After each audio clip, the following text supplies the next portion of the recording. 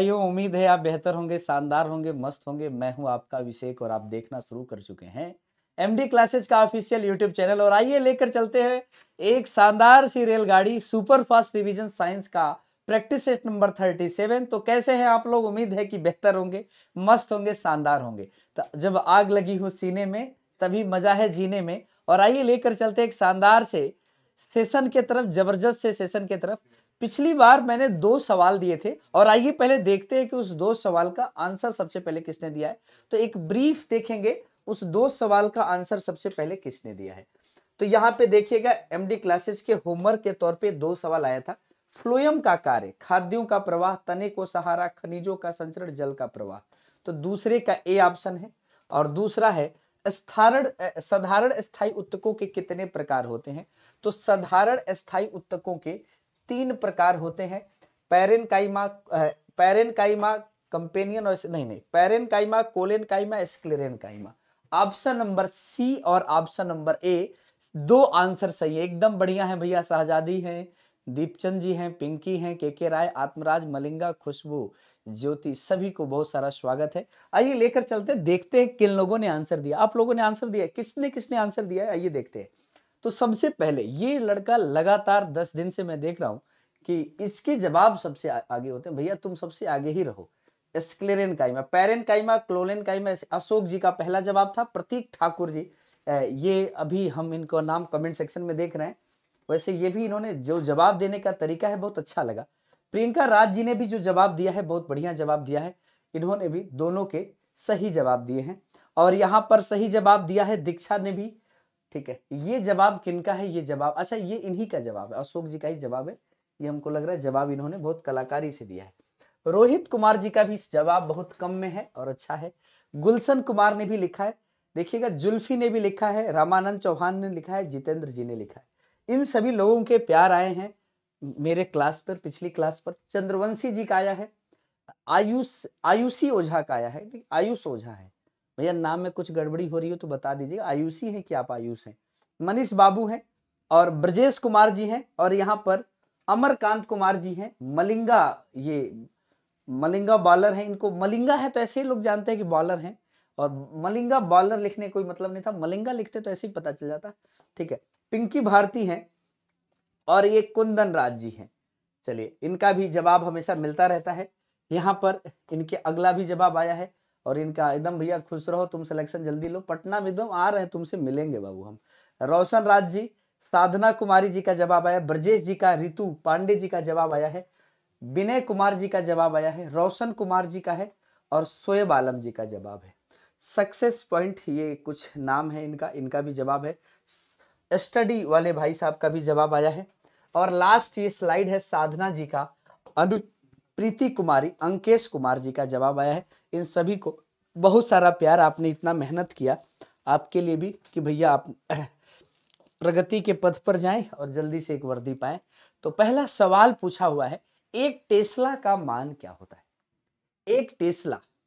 अब एक टेस्ला किसका मात्रक है या एक टेस्ला का मान किसके बराबर है, इसको समझते हैं। इसका पूरा ऑपरेशन करते हैं क्योंकि बहुत महत्वपूर्ण सवाल होता है। तो सबसे पहले आप जानिएगा, मैग्नेटिक फ़ील्ड होता है। क्या होगा?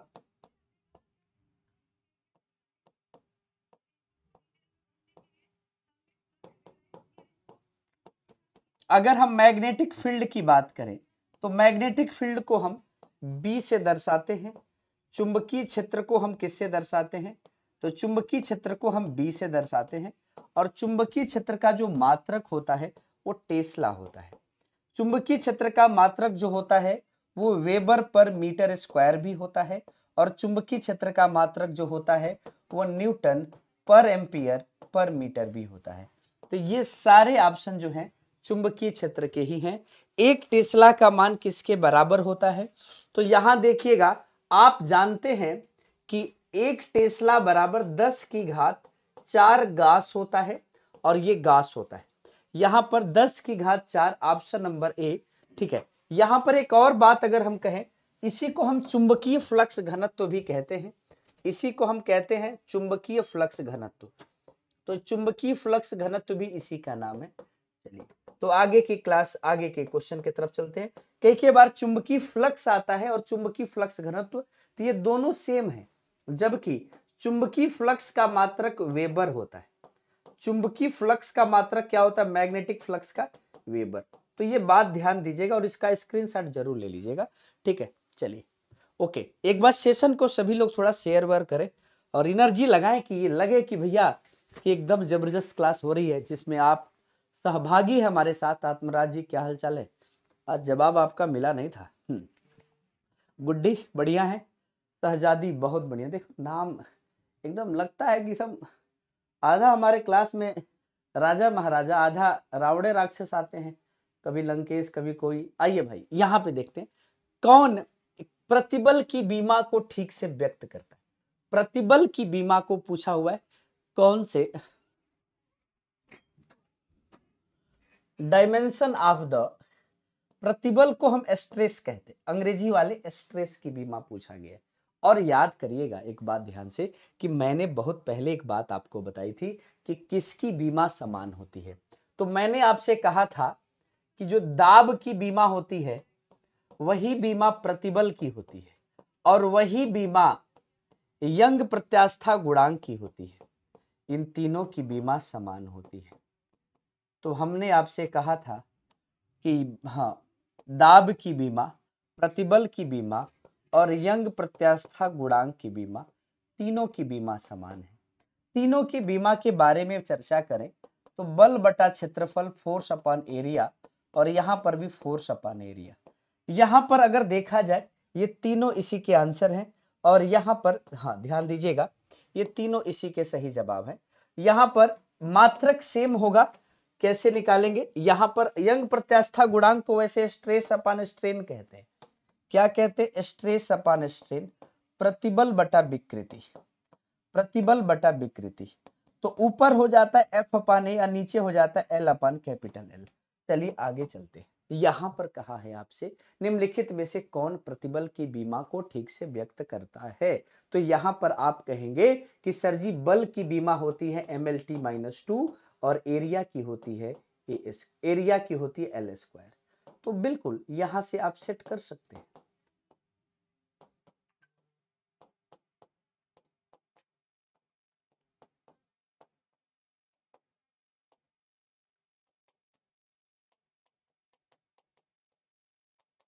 ये ये M L minus one T minus two ये बीमा होगी चलिए आगे चलते हैं। अगला सवाल है, यदि किसी वस्तु पर 10 न्यूटन का बल लगाया जाता है, जिसे लगाने के, लगने के कारण उस वस्तु के स्थान में पाँच मीटर का परिवर्तन हो जाता है, उस वस्तु द्वारा कितना कार्य किया गया? जवाब सबसे पहले गुड्डी, मनी मेहरा, कौन देगा? मलिंगा, गुड़िया यादव। आए है जल्दी जवाब दीजिए। पूरी एनर्जी के साथ जवाब दीजिए सही जवाब दीजिए। आपसे कहा गया है कार्य। तो बताइए ना, कार्य कैसा राशि है? अदिश राशि है कि सदिश राशि है? W बराबर बल गुड़े विस्थापन। बल दिया है आपके लिए 10 न्यूटन और विस्थापन आपको दिया है 5 मीटर। तो 10 पचे 50 newton into metre. Newton metre को मेरे भाई जूल कहते हैं। तो यहाँ पे सही जवाब आपका हो जाएगा 50 जूल जिन महोदय ने तो फिफ्टी जूल आंसर दिया है, उनका बिल्कुल सही है। बिल्कुल भैया, साक्षी पटेल, पिंकी भारती, बिल्कुल सही है। गौतम कुमार जी, पूछा है, मौत के कुएँ में मोटरसाइकिल घुमाने के दौरान बाहर की ओर कौन सा बल लगता है? नए वर्ष पे भी चारों तरफ़ मेले लगे थे। और मेले में मौत का कुआँ, आप देखे होंगे, कुएँ की जैसी संरचना होती है और उसमें बाइक या कार घुमाते हैं लोग। ठीक है तो पूछा है, कौन सा बल लगता है? और आप जानते कुआँ एकदम खड़ा नहीं होता थोड़ा तिरछा होता है। तो उन्हीं के द्रव्यमान का एक कंपोनेंट जो होता है ना, कुआँ थोड़ा तिरछा होता है और इसी कुएँ पर जब बाइक या कार को ऐसे हैंग करते हैं तो ये एमजी का एक कंपोनेंट इधर आ जाता है और यही आपका अभिकेंद्र बल के तौर पे चला जाता है। तो अभिकेंद्र बल की प्रतिक्रिया बल जो होती है, अभिकेंद्र बल ना लीजिएगा, इसी का एक प्रतिक्रिया बल इसको हाँ इसी का अभिकेंद्र बल का ही एक प्रतिक्रिया बल जो होती है, वही मोटरसाइकिल घुमाने के दौरान क्या करता है? लगातार कार्य करता है आर। ताप बढ़ाने पर किसी किसकी श्यानता बढ़ती है? सवाल है। ताप बढ़ाने पर किसकी श्यानता बढ़ती है? तो आइए, अगर हम पूछें कि ताप बढ़ाने पर किसकी श्यानता बढ़ती है तो यहाँ पर ध्यान देना है, द्रव गैस ठोस, किसकी श्यानता आप बढ़ाएँगे? ताप बढ़ाने पर किसकी श्यानता बढ़ती है? तेज़ी से इसका जवाब दीजिएगा। ताप बढ़ाने पर किसकी श्यानता बढ़ती है? अब देखिएगा, द्रव की श्यानता घटेगी। श्यानता क्या होता है? घर्षण होता है। द्रव की घटेगी, ठोस की भी घटेगी। गैस की बढ़ेगी क्योंकि गैस के अणु लगातार टकराएँगे। श्यानता का मतलब घर्षण। और जब गैस में हम तापमान बढ़ाएँगे तो श्यानता इसकी बढ़ेगी। ठीक है, इसको ध्यान देने वाली बात है। पूछा है, उच्च वोल्टेज से निम्न वोल्टेज की ओर रूपांतरित करने वाला कौन सा उपकरण है? चार ऑप्शन है। सही चुनना है। राधे राधे भैया कृति। एकदम खुश रहो भैया। मस्त रहिए सभी लोग। लेकिन सिलेक्शन ले लीजिएगा। आग बुझने ना दीजिएगा। हमारी क्लास देखने वाले लोगों में से अस्सी से ऊपर, पचासी से ऊपर या यूँ कहें नब्बे से ऊपर वो उस परिवार के स्टूडेंट होते हैं जिन्होंने के घर आर्थिक समस्याएँ रहती हैं, जिन्होंने पैसे के लिए समस्याएँ झेली हैं घर में। तो मैं जानता हूँ कि ऐसे स्टूडेंट से एक ही बात कहना है कि मौका आया है, थोड़ा एग्ज़ाम में इंतज़ार में है, प्रैक्टिस ज़बरदस्त कर लीजिए, कंप्लीट थियोरी को दोबारा याद कर लीजिए, रिवाइज कर लीजिए, लगातार क्वेश्चन करिए, उच्च वोल्टेज से निम्न वोल्टेज की ओर रूपांतरित करने वाला उपकरण ट्रांसफार्मर है, बिल्कुल। और ट्रांसफार्मर किसके सिद्धांत पे काम करता है? तो ये विद्युत चुंबकीय प्रेरण के सिद्धांत किसके सिद्धांत पर काम करता है? विद्युत चुंबकीय प्रेरण के सिद्धांत पे। और दूसरा, अन्योन्य प्रेरण के सिद्धांत तो विद्युत चुंबकीय प्रेरण और अन्योन्य प्रेरण के सिद्धांत पर ट्रांसफार्मर आपका कार्य करता है। क्लियर है? कोई डाउट तो नहीं? चलिए, अगला है, ये एक आपके लिए दिया हुआ एक सर्किट है। और इस सर्किट में कहा है कि तीन एम्पियर की धारा दो ओम के प्रतिरोध से जा रही है। बड़ा प्यारा सवाल बना है। यानी यहाँ से कहा है, दो एम्पियर की धारा जा रही है। नहीं, तीन एम्पियर की धारा जा रही है। कहेंगे बहुत बढ़िया है। तीन एम्पियर की धारा जा रही है। तो पाँच ओम के प्रतिरोध से कितना शक्ति प्राप्त होगी, कितना शक्ति व्यय होगी, ये निकालना है। कैसे निकालेंगे? बड़ा, इस सवाल में मेन मुख्य रूप से जो है, जानते हैं कौन इसमें प्रभावकारी है? धारा। धारा आप निकालिए, विभव को लेकर जाइए। पहले यहाँ पर अगर हम, ये आर का मान है और ये आई का मान है तो आई और आर से विभव निकल जाएगा क्या? आई आर विभव, ओम का नियम तीन दुना छ यहाँ पर छह वोल्ट यहाँ पर। इस वाले विभव में छह वोल्ट है तो यहाँ पर भी क्या होगा? छह वोल्ट और यहाँ पे भी क्या होगा? छह क्योंकि समानांतर में विभव समान होता है। याद करिए, हमने लिखवाया कि समानांतर में विभव समान और श्रेणी में धारा समान।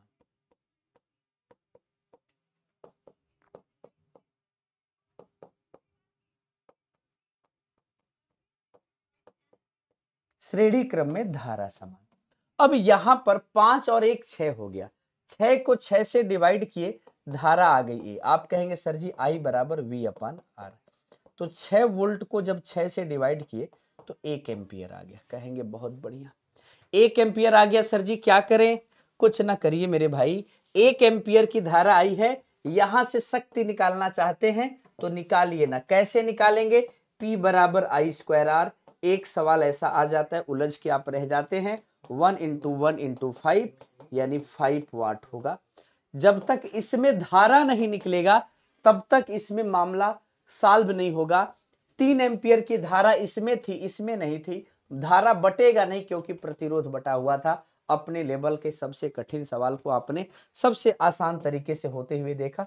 फिर से एक बार समझा देता हूँ। मैंने कहा कि यहाँ पर आपको धारा दिया था, आपने प्रतिरोध के साथ गुणा करके विभव निकाला। विभव समानांतर में समान होते यहाँ धारा निकाली, प्रतिरोध के साथ P बराबर आई स्क्वायर आर निकाल लिया, सीधा आपके पास पावर निकल गया। आंसर आ गया। बहुत बढ़िया।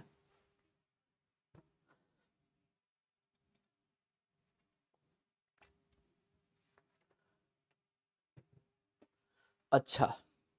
अगला सवाल आपके सामने है एलईडी हाँ भैया, भूमि कुमारी, आइए यहाँ पे थोड़ा क्वेश्चन करिए। बिल्कुल।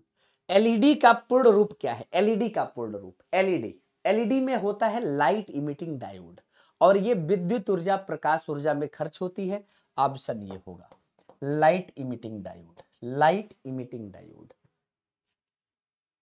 एक ध्वनि तरंग में साढ़े तीन किलो हर्ज की आवृत्ति है। इसका तरंग दैर्घ्य 0.1 मीटर है। इसे 700 मीटर की दूरी तय करने में कितना समय लगेगा?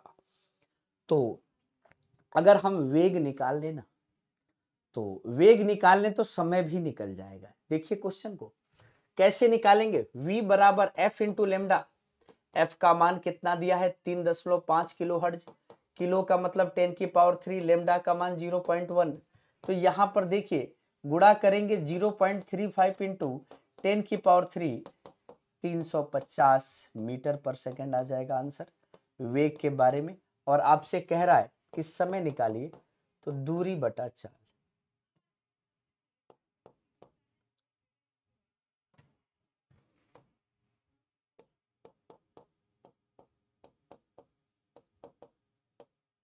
Distance upon speed. Distance upon speed या वेलोसिटी ले लीजिए। तो डिस्टेंस कितना है? 700 मीटर। और स्पीड कितना है? स्पीड है साढ़े तीन सौ। तो डिवाइड करेंगे, दो सेकेंड आ जाएगा। यहाँ पे आंसर आ गया दो सेकेंड। बोलिए क्लियर? सीधा आंसर आ गया। एक वस्तु में उष्मा का आदान प्रदान नहीं होता। यदि इसकी आंतरिक ऊर्जा बढ़ती है तो क्या होगा? हाँ देखिएगा। उष्मा का आदान प्रदान नहीं होगा तो आइसोथर्मल हो गया। आइसोथर्मल। और आइसोथर्मल प्रोसेस में तापमान क्या होती है? समान, नहीं, उष्मा का आदान प्रदान नहीं होता तो ये क्या हो जाएगा? एडियाबेटिक प्रोसेस होगी। इस प्रोसेस को हम एडियाबेटिक बोलते हैं, रुद्धोष्म प्रोसेस बोलते हैं। रुद्धोष्म में उष्मा का आदान प्रदान नहीं होता है। तो इसका तापमान, यदि इसकी आंतरिक ऊर्जा बढ़ रही है तो क्या होगा? आगे की चीज़ें बताइएगा। यदि इसकी आंतरिक ऊर्जा बढ़ रही है तो क्या होगा? उष्मा का आदान प्रदान नहीं हो रहा है। आंतरिक ऊर्जा कब बढ़ेगी? आन हाँ तो देखिएगा। अगर किसी वस्तु में उष्मा का आदान प्रदान नहीं हो रहा है, लेकिन यांत्रिक ऊर्जा, आपने इस पर काम किया और काम किया तो इसकी या, आंतरिक ऊर्जा बढ़ गई। आंतरिक ऊर्जा तभी बढ़ेगी जब गतिज ऊर्जा बढ़ेगी और गतिज ऊर्जा, आंतरिक ऊर्जा का मतलब गतिज ऊर्जा और ये ताप के बढ़ने के कारण होगा। ये कब होगा? जब ताप बढ़ेगा। ताप बढ़ेगा तभी आंतरिक ऊर्जा बढ़ेगी, क्योंकि गतिज ऊर्जा बढ़ेगी। अच्छा ये सवाल जो है आधुनिक जमाने का सवाल है। अगर आप कर पाए तो भी ठीक है, नहीं कर पाए तो भी ठीक है। इस सवाल को हमने ऐसे एक टेस्ट करने के लिए रख दिया। विकास की वर्तमान स्थिति में आर्टिफिशियल इंटेलिजेंस निम्नलिखित में से किस कार्य को प्रभावी रूप से कर सकता है? चैट जीपीटी का जमाना है, आप जानते हैं। औद्योगिक इकाइयों में विद्युत की खपत कम करना, ये ज़ाहिर सी बात है। सार्थक लघु, आप देखते हैं कि कहाँ पे आवश्यकता है, उस हिसाब से स्मार्ट मीटर बनाए गए हैं। ऑटो कट डिवाइस बनाई गई है। सार्थक लघु कहानियों और गीतों की रचना करना, रोगों का निदान करना, टेक्स्ट टू स्पीच में परिवर्तन। विद्युत ऊर्जा का बेतार संचरण, यहाँ बिल्कुल सारे काम हो सकते हैं। आर्टिफिशियल इंटेलिजेंस सारा काम कर सकता है। बड़ा आधुनिक जमाने का ये डिवाइस आधुनिक जमाने का ये एक तरह से कहा जाए तो एक सॉफ्टवेयर जो है आर्टिफिशियल इंटेलिजेंस जो मैसी मशीन लर्निंग पे काम करता है। पूछा है ब्लीचिंग पाउडर में ब्लीचिंग एजेंट कौन ऐसा इसमें से तत्व है? जो कपड़े का रंग उड़ा देता है, रंग उड़ाने का काम करता है। अब वैसे ब्लीचिंग पाउडर बनाने की बात करें।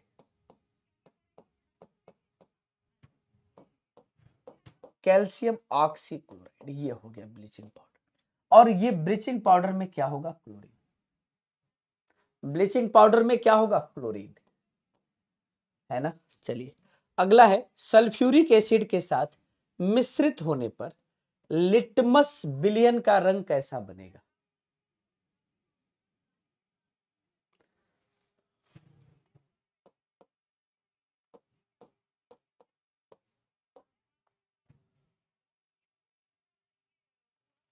सल्फ्यूरिक बिलियन क्या है? एसिड है।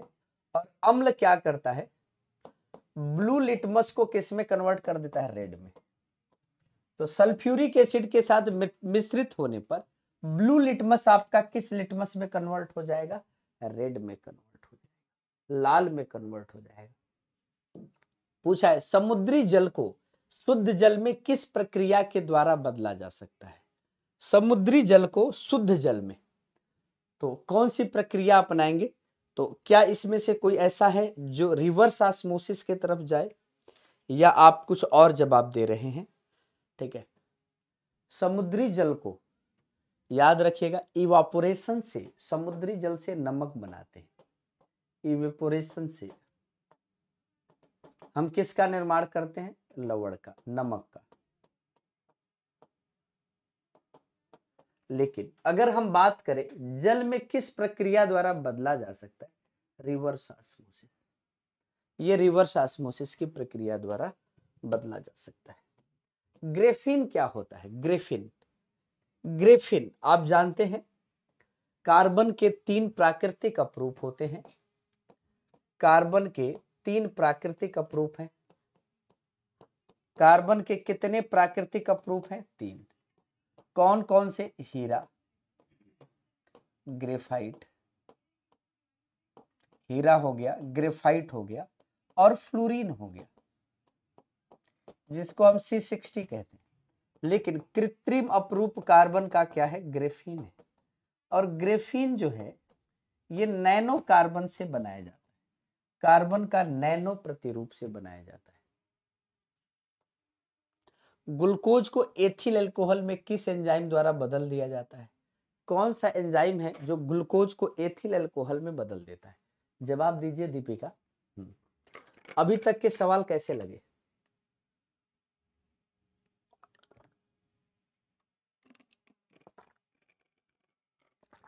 हाँ ये साक्षी ने बहुत अच्छी लाइन लिखी है कि, सर जी, गलत हो रहा है तो क्या होगा? गलत होने से एक अच्छी चीज़ ये है कि कुछ सीखने को मिलेगा। बिल्कुल सीखने को मिलेगा।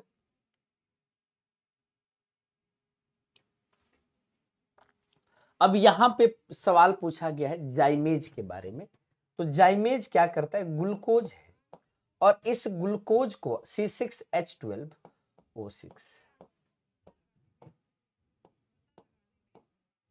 zymase क्या करेगा? यहाँ से कार्बन डाइऑक्साइड का निर्माण कर और साथ में ethanol C two H five O H और देखिएगा चार और दस एक, एक दस दो बारह। और यहाँ पे ऑक्सीजन देखिएगा दो यहाँ पर और यहाँ पर। दो सी चार दो छ हाँ। अब आपका ये बन गया। ये पूरी रिएक्शन बैलेंस हो गई। ये है जाइमेज। ठीक ना? ये बन गया। ठीक? चलिए। पूछा है, ये सवाल आप कर पाएँगे क्या? अधिकांश विटामिन मानव शरीर में संश्लेषित नहीं किए जाते हैं, कारण मानव अंग केवल अनिवार्य सूक्ष्म पोषकों का ही संश्लेषण करते हैं। बात सही है कि हमारे शरीर में अधिकांश विटामिन का संश्लेषण नहीं हो पाता है। मानव शरीर बस केवल तीन विटामिनों का संश्लेषण करता है। उस विटामिन के जो नाम है, vitamin D, vitamin K, vitamin B twelve इनका संश्लेषण हमारे शरीर में होता है और बाकी विटामिन हमको खाना पड़ता है। तो मानव अंग केवल अनिवार्य सूक्ष्म पोषकों का ही संश्लेषण करता है, ए तथा आर दोनों सही हैं। क्या बिल्कुल आप भी इसी के तरफ़ गए हैं? सत्रहवें का ए आप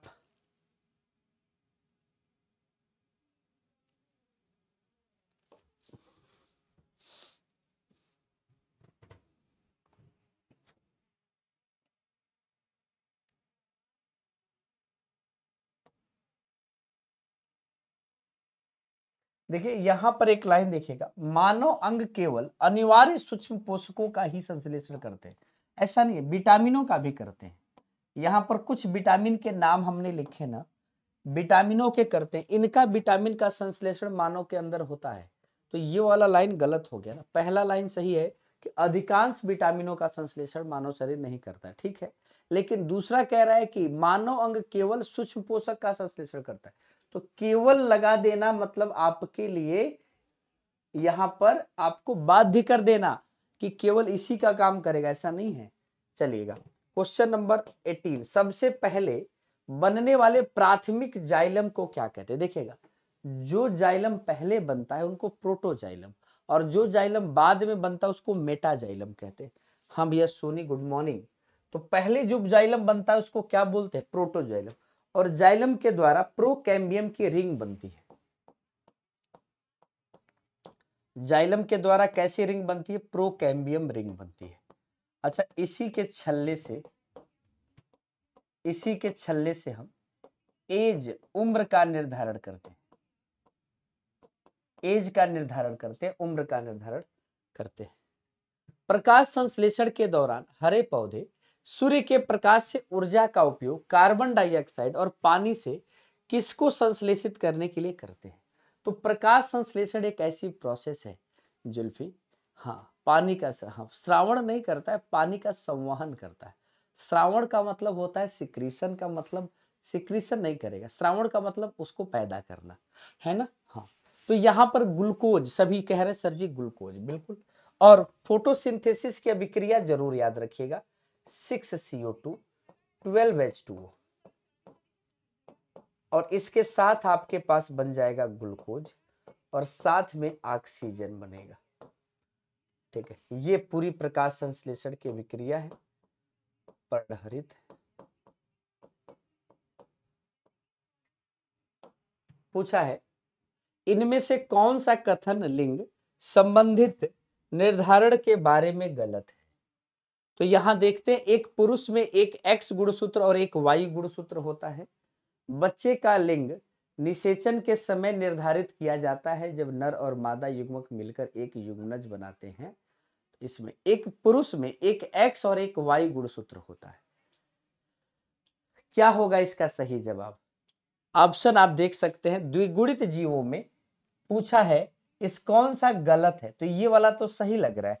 बच्चे के लिंग निषेचन के समय निर्धारित किया जाता है जब नर और मादा युग्मक बनते एक स्त्री में दो एक समान एक्स और एक्स वाई होते ये तो सही है, लेकिन ये वाला गलत है। तो इसमें गलत पूछा है तो सी वाला आपने गलत बताया होगा। ये सही है, ये लास्ट वाला भी सही है। ठीक है, कोई डाउट तो नहीं? भैया, किसी का गुरुजी सॉल्यूशन देखने के बाद, ओके, ठीक है। यूनिक गर्ल कर रही है कि, सर जी, आज मेरा बर्थडे है। भैया, आपको जन्मदिन की बधाई, आप मस्त रहें, ज़बरदस्त रहें, खूब पढ़ाई लिखाई करें, सिलेक्शन लें गुरु जी की बात माने। हाँ मैंने बात मानने का मतलब हम कह रहे हैं, पढ़ने के लिए तो पढ़ाई करें, है कि नहीं? हाँ चलिए, आगे चले। पूछा है, निम्नलिखित में से कौन सा प्रमस्तिष्क के बारे में सही नहीं है? इसमें दो भाग होते हैं, जिसे प्रमस्तिष्क गोलार्ध कहा जाता है। हाँ बिल्कुल। ये जो प्रमस्तिष्क है ना तो प्रमस्तिष्क दो प्रकार का है। एक होता है आपका राइट हेमिस्फेयर और एक होता है लेफ़्ट हेमिस्फेयर। ठीक है? तो ये आप, यह मस्तिष्क का सबसे बड़ा लगभग 80 परसेंट भाग है, छाछठ प्रतिशत भाग के लगभग में। ठीक है? इसमें पूछा है कौन सा सही नहीं है। इसमें कुल मिला के अगर देखा जाए, ये छाछठ अधिकतम, सबसे बड़ा भाग है। कुछ जगहों पे छाछठ दिया है, कुछ जगहों पे अस्सी दिया है, सही है। यहाँ पे ये वाला गलत है। आप कहेंगे कैसे सर जी? ये काम इसका नहीं है, ये काम सेरी बेलम का है, अनुमस्तिष्क का है। ये अनुमस्तिष्क का काम है। अगर हम प्रमस्तिष्क के बारे में बोले तो जो हमारा प्रमस्तिष्क है, इसका काम क्या है? इसका काम है सोचने का। इसका काम है बुद्धिमानी का। इसका काम है सूचना का भंडारण। सूचना भंडारण करना, ये सब काम इसके ठीक है, किसका? प्रम मस्तिष्क सारे काम इसके हैं इंफॉर्मेशन मेमोरी का, स्मृति का। ये सारे इसी के काम है। ठीक है इलेक्ट्रॉन वोल्ट किसकी एक इकाई है? इसमें तो बहुत सारे लोग फंसने वाले हैं। कौन इसका जवाब देगा? जो देखते हैं, गलत जवाब हो रहा है कि सही? पूछा सवाल, बड़ा बढ़िया सवाल है।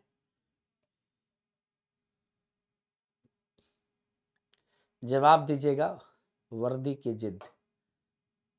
बड़ी बदमाशी हो रही है। बताओ क्या होगा आंसर? शोभा बी विभुआंतर नहीं इलेक्ट्रॉन वोल्ट जो है, वोल्ट देख के लोग विभव लगा देते हैं। ये ऊर्जा का किसका है? W बराबर Q इंटू वी और Q का मतलब इलेक्ट्रॉन और V मतलब वोल्ट। तो ये ऊर्जा का मात्रक है। ध्यान दीजिएगा, एक इलेक्ट्रॉन वोल्ट बराबर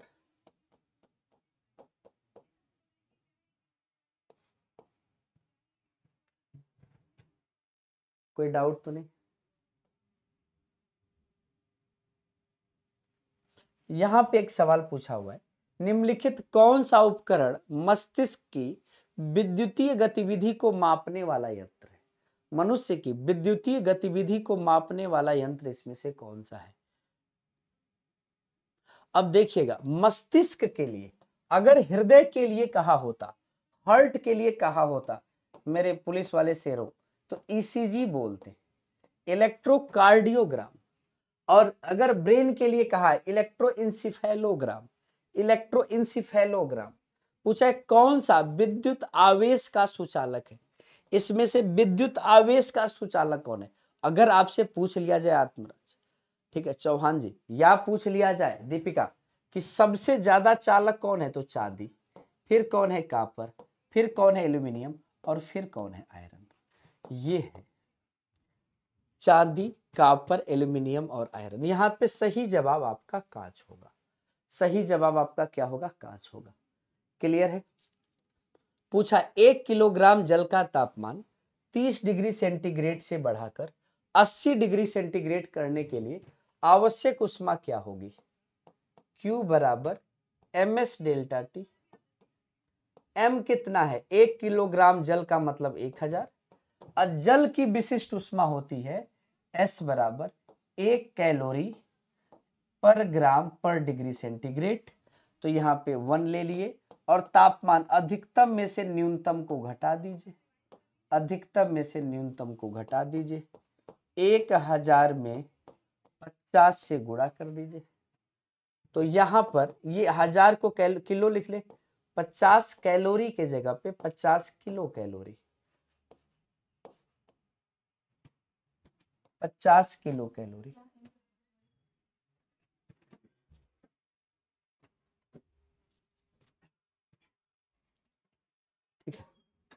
पूछा है, धागे के एक सिर पर बधे पत्थर के टुकड़े को धागे के दूसरे सिरे पर हाथ में पकड़कर वृत्ताकार घुमाया जाता है।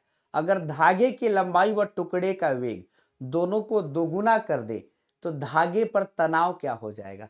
ये सवाल जो है बड़ा अच्छा सवाल है और ये आप इतनी आसानी से इसको नहीं कर पाएँगे। थोड़ा सोचिएगा कि कौन कौन इस सवाल का जवाब कर पा रहे ठीक है, क्या होगा इसका सही जवाब? ज़ाहिर सी बात है, पूछा है दो गुना करने पर तनाव तनाव मतलब जो अभिकेंद्र बल के द्वारा इस्तेमाल हो रहा होगा तो पहले कितना था?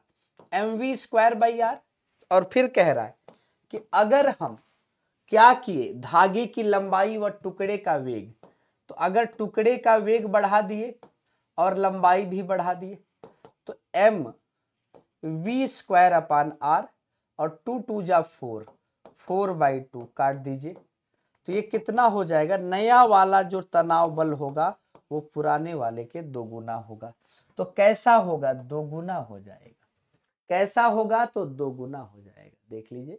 जिन लोगों ने दोगुना लगाया है, उन्हीं का सही है। खतरनाक सवालों को भी आसान तरीके से हमने किया है आज। ये सवाल देखिएगा। चित्र में दो समतल दर्पण ओ और बी है। प्रकाश की किरण एक्स वाई दर्पण ओबी के बिंदु वाई पर आपतित होती है। दर्पण एओ से परावर्तित होने के बाद एक्स वाई की दशा में।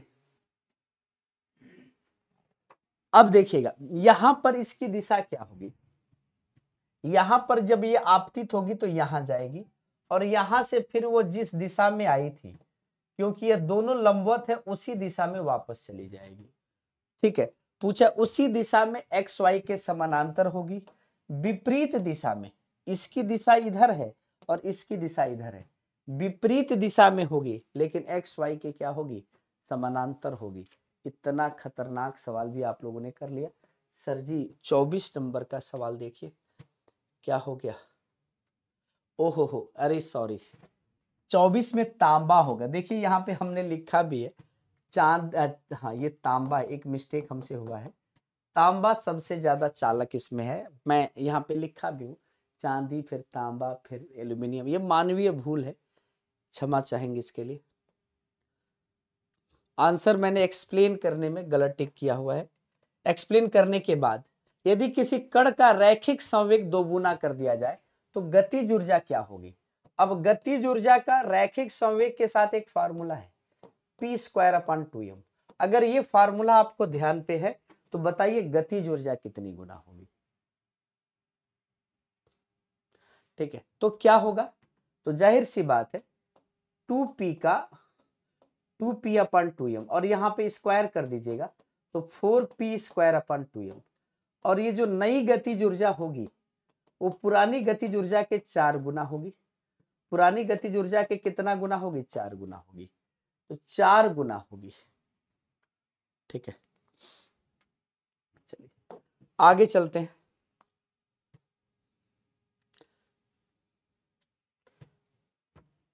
चलिए, इस सवाल का जवाब दीजिए। हाँ। रुपेश, जवाब दीजिए इस सवाल का। एक बटा दो कहाँ से आया तुम्हारा?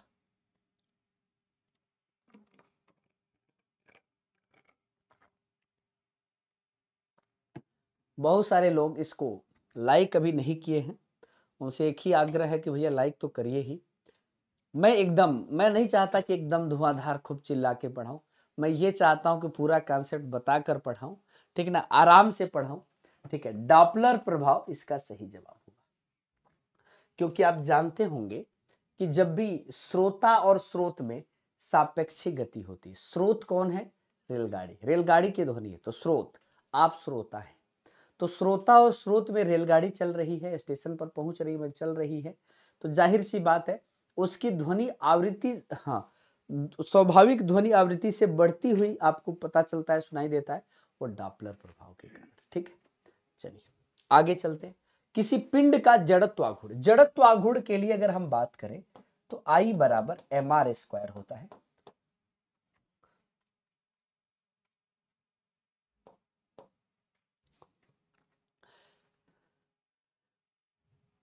सर, पप्पू कह रहे सर जी, पप्पू परदेसी, क्या नाम है भैया? बढ़िया नाम बनाया, एकदम रिदम बनाया, पूरा सेट किया। पप्पू परदेसी नाम रखूँगा। बदमाशी करूँगा तो भी मेरे गाँव वाले नहीं जानेंगे। कि मैंने बदमाशी की है। तो मैं बदमाशी क्यों करूँगा? क्योंकि मैं अपना ओरिजिनल नाम नहीं रखा हूँ गल दूसरा नाम रखा हूँ। ठीक है? यानी हम अपनी पहचान भुला दिए हैं।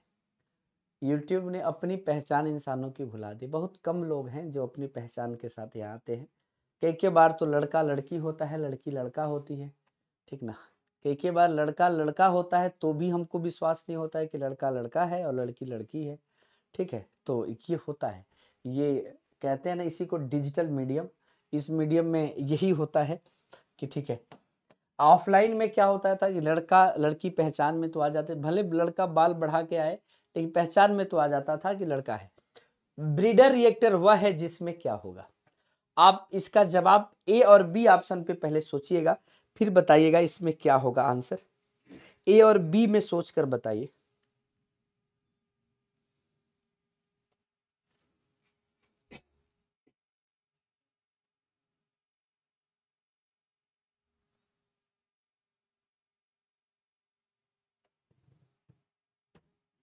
ठीक है, इसमें क्या होता है? इसमें ये होता है, ध्यान दीजिएगा, इसमें यह होता है कि जो विखंडनीय पदार्थ है, विखंडनीय पदार्थ को जितना खर्च आप करेंगे, उसी से आपको ऊर्जा की प्राप्ति होगी। जितना खर्च करेंगे, उससे अधिक ऊर्जा की प्राप्ति होगी। ये ध्यान पे रखिए।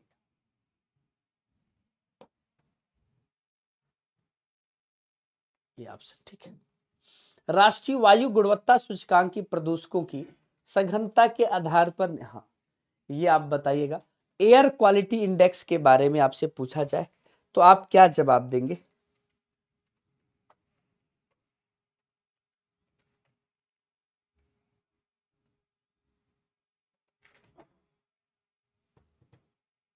आठ प्रदूषकों के आधार पर इसको रखा गया है। एक, दो, तीन, चार, पाँच, छह, सात, आठ। आठों के नाम देख लीजिएगा। एक है पार्टिकुलेट मैटर टेन एक है पार्टिकुलेट मैटर हमारे पास जो लिस्ट है, एक ढाई है तो दो आपके पास प्रदूषक हो गए एसओ टू हो गया एनओ टू हो गया लेड भी है इस लिस्ट में, ठीक है SO two NO two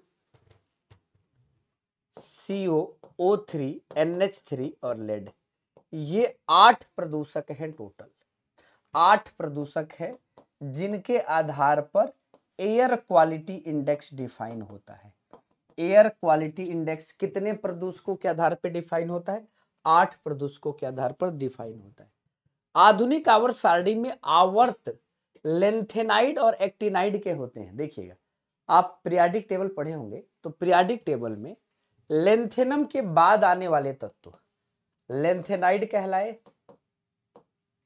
और एक्टिनियम के बाद आने वाले तत्व, एक्टिनोइड कहलाए। तो लेंथेनोइड जो है, इनकी छठवीं आवर्त होती है और इनकी सातवीं आवर्त होती है।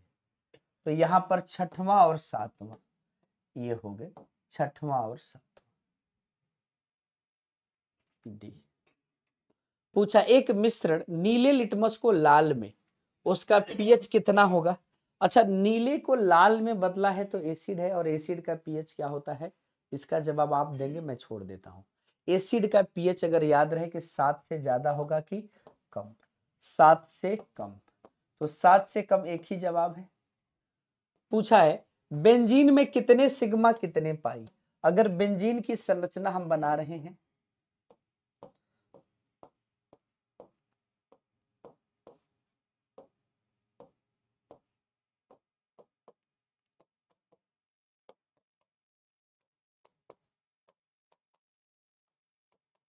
कितने सिग्मा कितने पाई? तो हर एक सिंगल बाड सिग्मा होता है और हर एक डबल में एक सिग्मा सिग्मा होता है। इसमें भी एक एक सिग्मा है। और ये पाई है। तो पाई आपका तीन। बाद में पाई लिखा है तो पाई तीन सब में है। सिग्मा कितना है? बारह। बारह सिग्मा है। छह किनारे किनारे और छह बाड। बारह सिग्मा है, आप गिन सकते हैं। गिन दे। एक, दो, तीन, चार, पाँच, छ। बाहर का, अंदर का। एक, दो, तीन, चार, पाँच, छ। छ बारह। नीचे दिए गए आयुपीएससी नामों में से जो एक अलग है, उसका चयन कीजिए। जो एक अलग है, उसका चयन कीजिए। किसको चयन करेंगे? हाँ कुछ ऐसा ही नाम दिया गया था। C H three O H, methanol. C two H five O H, ethanol. अब देखिएगा, यहाँ पर इवन नंबर में दिया, ये गलत है।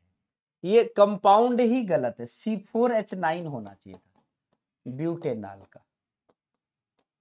ब्यूटेनाल में क्या होना चाहिए था? सी फोर एच नाइन पूछा है, किस सी परमाणु क्रमांक सत्रह वाला एक तत्व, नीचे दिए गए किस परमाणु क्रमांक के तत्व के समान विशेषता रखेगा? सत्रह वाला। तो आप कहेंगे, सर जी, नौ में आठ जोड़े हैं तो सत्रह हुआ है। और सत्रह में कितना जोड़ दें? तो सत्रह में बबुआ अठारह जोड़ दो। तो अठारह जोड़ोगे तो पैंतीस, फिर अठारह जोड़ दो। तो यहाँ पर आंसर आंसरवा क्या हुई हो? पैंतीस हो जाएगी। भोजपुरी सम... अच्छा भोजपुरी वाले कितने लोग हैं, जिसको भोजपुरी समझ में आता है? ईमानदारी से बताइए, नहीं कि भोजपुरी या हिंदी मिक्स करके बोलते हो मैंने हाँ एकदम देसी भाषा पे आना भी नहीं आप देवनागरी लिपि में ही रहिए, हिंदी में ही रहिए। देखिए हाँ पूछे मानव में पित्त का स्राव होता है। पित्त का श्राव होता है। यकृत से, अग्नाशय से, छोटी आंत से। तो यकृत से होता है। लेकिन स्टोर कहाँ होता है? स्टोर होता है पित्ताशय में। कहा होता है बाबू? पित्ताशय में। देख ले कितने लोग हैं। अच्छा भैया। रुपेश भी हैं। बहुत बढ़िया। अच्छा आंसरों बताने लगे सब बीच बीच में। बहुत बढ़िया। ये होता है पढ़ने वाले बच्चे। बीच बीच में सवाल के बीच में। हाँ सर जी, हम हाँ चलिए। दो सवाल और है। पीछे की ओर उड़ने वाला एकमात्र पक्षी। ऐसा कौन सा पक्षी जो पीछे उड़ता है? बैक गियर में उड़ता है। कोई ऐसा पक्षी जानते हैं आप लोग जो बैक गियर में उड़ता हो? बताइए। कौन सा ऐसा पक्षी है जो तीनों भाषा में उड़ता हो? तीनों भाषा में नहीं भाई, जो पीछे की ओर उड़ता हमिंग बर्ड अच्छा हमिंग बर्ड की चोंच उसके शरीर से लंबी होती है। लास्ट क्वेश्चन निम्नलिखित में से किन स्थायी उत्तकों में कोशिकाएँ मृत होती है? किस स्थायी उत्तकों में कोशिकाएँ मृत होती है? एस्क्लेरिन काइमा में हमेशा कोशिकाएँ मृत होती हैं। ये सही जवाब है। दो होमवर्क है आपके। पेड़ की आयु का निर्धारण होता है तने की त्रिज्या से, वार्षिक वलय से, शाखाओं की संख्या से। ये सवाल आपके पास एक है। दूसरा सवाल इधर है, निम्नलिखित में से कौन रंध्रों के बंद होने और पत्तियों के गिरने में मदद करता है? यानी ये प्लांट के हार्मोन से पूछा गया सवाल और इधर आपके पास पूछा गया है, ये भी प्लांट हार्मोन से। तो प्लांट हार्मोन से दो सवाल पूछे गए हैं, ठीक है? और याद रखिएगा, ये दोनों सवाल बहुत महत्वपूर्ण है। बिहार पुलिस 2023 की तैयारी जो थी, जो 2023 में जो फॉर्म आया था, उसी की तैयारी हम 2024 में भी कर रहे हैं। और एक बेहतर महत्वपूर्ण एग्ज़ाम था जिसमें बहुत सारे बीस हज़ार से ऊपर फॉर्म थे और एक सीट लेना था। एग्ज़ाम एक बार हुआ, पेपर लीक हो गया। आप लोगों की वजह से ही आपने पेपर कैंसिल कराया अदरवाइज़ अयोग्य लोगों को योग्यता मिल जाती, योग्य, अयोग्य लोग सिलेक्शन हो जाता। पेपर का इतिहास ऐसा है कि पहले आपको रिटर्न देना है, फिर चयन होगा फ़िज़िकल में। फ़िज़िकल के नंबर जोड़े जाएँगे और उस हिसाब से आपका मेरिट बनेगा। ट्रेनिंग शुरू होगी, मई, जून में आपकी ट्रेनिंग शुरू हो जाएगी लगभग। ट्रेनिंग के बाद, मैंने यही एक प्रक्रिया अभी जो दिखाई दे रही है। तो अगर आपके भी दिल में आग है कि इस साल नौकरी दिख रही है, नहीं हुई तो क्या हुआ? बहुत सारे लोग छोड़कर अपना दूसरा काम जो कर रहे थे, दूसरी तैयारी कर रहे लेकिन आप लोग डटे हुए हैं, लगे हुए हैं। सभी लोग आए, गए, लेकिन आपकी तैयारी इसी की होती रही, बिहार पुलिस की होती रही। तो जो लगातार पूरी एनर्जी के साथ बिहार पुलिस की तैयारी की, जिन्होंने पूरे मन से साइंस पढ़ा, जिसने पूरे मन से मैथ पढ़ा, पूरे मन के साथ अपने एक एक सब्जेक्ट को पढ़ा, ज़ाहिर सी बात है उसका सिलेक्शन भी होगा। तो चलिए, आप सभी को बहुत सारा धन्यवाद, आप सभी को बहुत सारा प्यार, आप मस्त रहें, आप ज़बरदस्त रहें, आप सभी को जय हिंद। ठीक है, फिर दोबारा कल मुलाकात होगी। आइए बताते हैं कि इस इस क्लास की पीडीएफ कहाँ मिलेगी। उससे पहले कि पेड बैच में अगर जुड़ना हो तो एम डी क्लासेज का ऑफिशियल एप्लीकेशन इंस्टॉल कर लीजिएगा, नाम नंबर से रजिस्टर कर लीजिएगा। दूसरा है एम डी क्लासेज के टेलीग्राम चैनल से जुड़ना हो तो Abhishek sir M D classes का टेलीग्राम चैनल से, मेरे टेलीग्राम चैनल से जुड़ना है तो यहाँ पे जुड़ जाइएगा। यहाँ पे मैं पीडीएफ डाल दूँगा, Abhishek sir M D classes से, ठीक है। और आपको M D classes official Telegram channel से आप जुड़ सकते हैं। एम डी क्लासेज ऑफिशियल इससे भी आप जुड़ सकते हैं। ठीक है, यहाँ पे भी आपको इस क्लास का पीडीएफ मिल जाएगा। बहुत बहुत धन्यवाद आज के क्लास में आने के लिए। आप सभी मस्त रहें, ज़बरदस्त रहें। मैथ की क्लास पहले हो चुकी है। अच्छा मैथ की क्लास कब होगी? अच्छा पुलिस के नाम से नहीं हुई है, लेकिन होगी। चलिए, जय हिंद सभी को थैंक यू